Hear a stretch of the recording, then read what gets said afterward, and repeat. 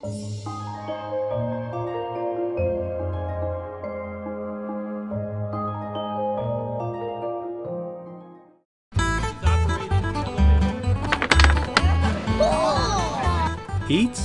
treats, and astronaut greets.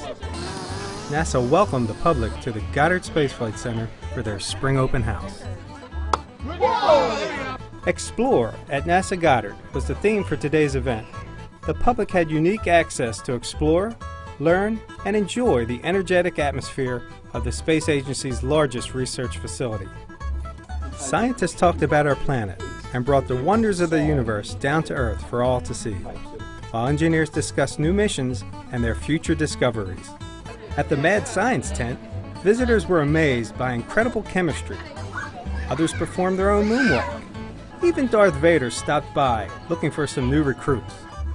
Each location was a technological treasure trove as guests toured many of the seldom seen facilities. Thousands of visitors toured the solar system and beyond, all without leaving Greenbelt. But at NASA Goddard, that's just a normal day.